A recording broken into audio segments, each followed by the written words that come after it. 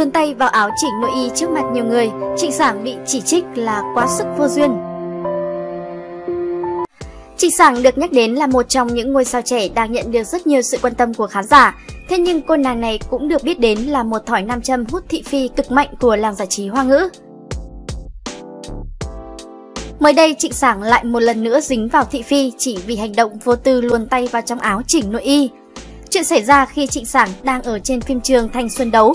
Xung quanh nàng Tiểu Hoa khi đó không chỉ có các đồng nghiệp nữ mà còn có cả các đồng nghiệp nam.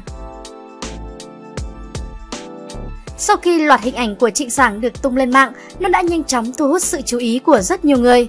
Nhiều ý kiến trái chiều đã được đưa ra, có người nói là do cô nàng thoáng tính, nhưng lại có ý kiến cho rằng hành động của cô là vô duyên. Hành động này của Trịnh Sảng thật vô duyên, không thấy xung quanh có rất nhiều người sao? Cô ta xem những người xung quanh là không khí hả?